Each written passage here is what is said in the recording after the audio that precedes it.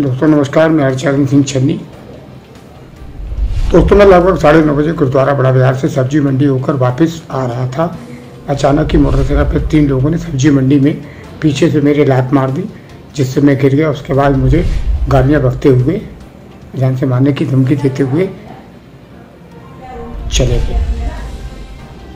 सामने से एक मोटरसाइकिल आता देख कर वो लोग चले गए और मैंने इसके बारे में इंस्पेक्टर साहब को भी सूचना दे दी है और कप्तान साहब से भी मिलने गए थे तो उन्होंने सुबह मिलने के लिए हमसे कहा है।